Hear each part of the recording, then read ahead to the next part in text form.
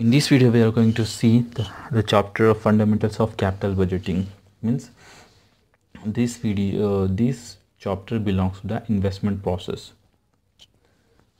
Okay for example first formula let's write the formulas. First formula belongs to payback period. Okay payback period. Payback period means if investment in one project how much period the investment will be back okay अगर कोई project में investment करे तो कितने years में वो वापस आ जाएगा investment okay when cash flow is equal when cash flow is the cash flow are okay? At that time the formula is investment divided by cash flow. Okay? A very easy formula. When cash flows are unequal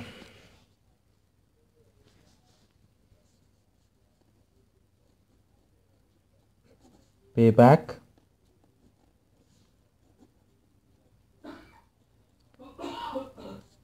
period when cash flow is unequal. When cash flow is or when cash flow are unequal.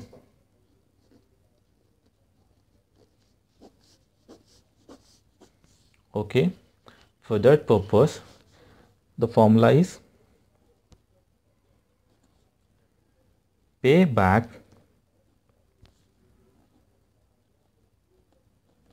period in previous year. In previous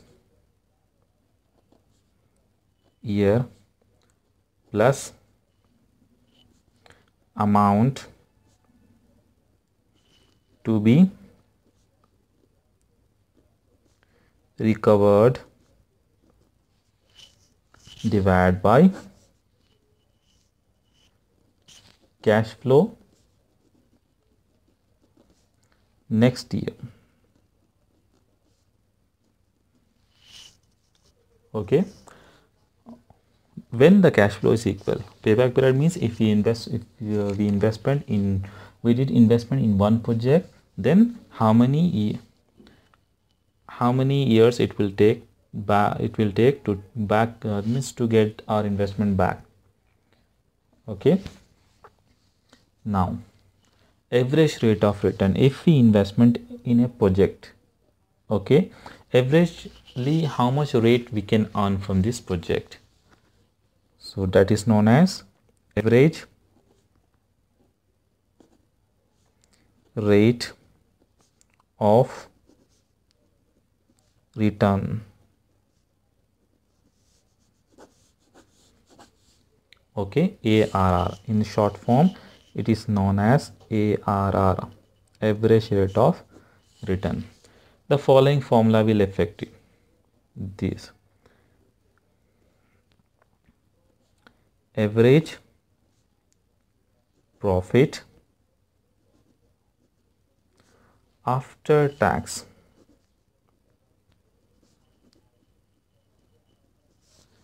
divided by average investment.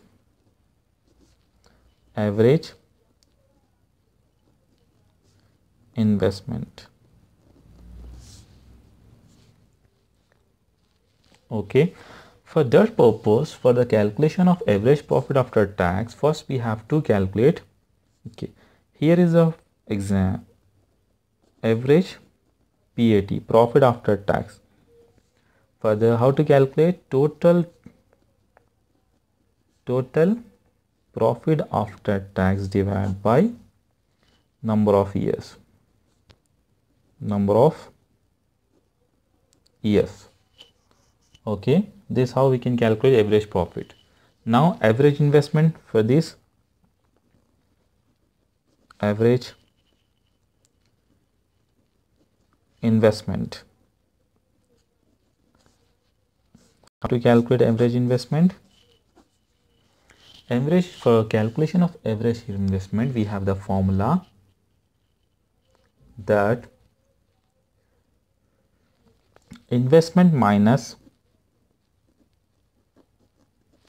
investment minus scrap divided by 2 plus scrap this is the formula.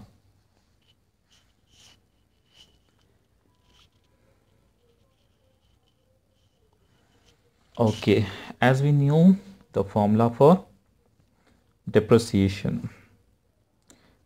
Formula for depreciation is investment investment minus scrap value divided by number of years.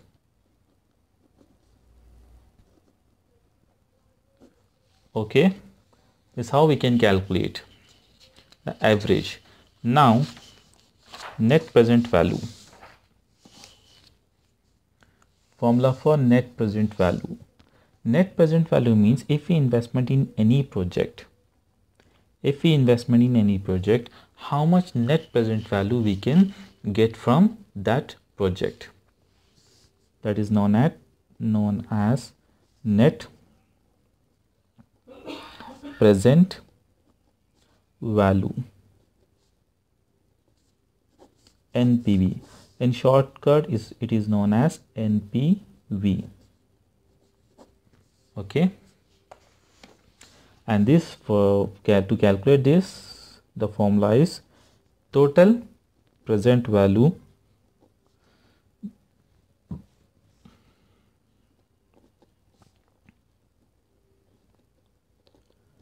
total present value minus investment.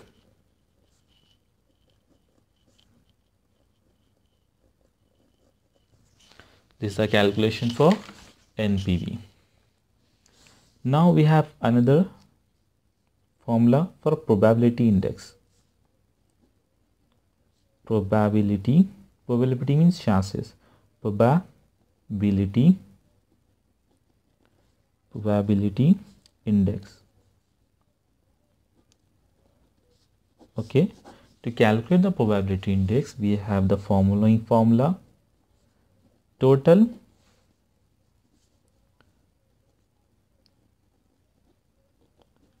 total investment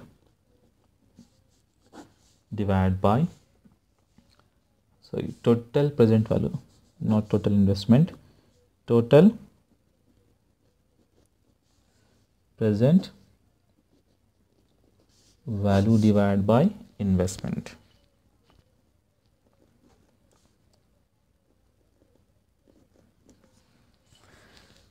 Now 6 is IRR IRR means internal rate of return. Internal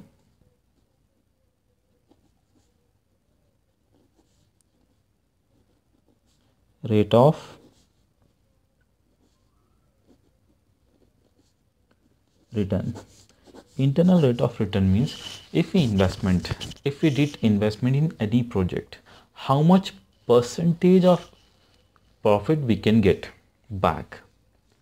Okay we calculate here internal rate of return how much percent of profit we can get from this investment. So we calculate it is in percentages. Okay to calculate that percentage we have to calculate the following formula. We have to write the following formula and that is lowest rate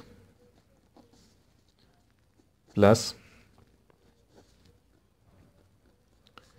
positive NPV divided by positive NPV plus negative NPV negative NPV into difference in rate. Difference in rate. Okay this how we have to calculate the following formulas of fundamentals of capital budgeting means investment formulas. This is the main which uh, formulas which is used by the management to make the decisions for investment. Example if we are investing in a project how many years it will be we will get back our investment. For example here is the problem. X limited intend to invest 1 lakh rupees on a capital project. The project generates annual net cash flow 15000 per month okay or 15000 per year for a period of 8 years. At the end of 8th year the project will be salvage means remaining 20000 calculate the payback periods so here now let's calculate the solution for this question. How to calculate the payback period when cash flow is as we seen the question let's start the solution for question number one. Okay. First write the year.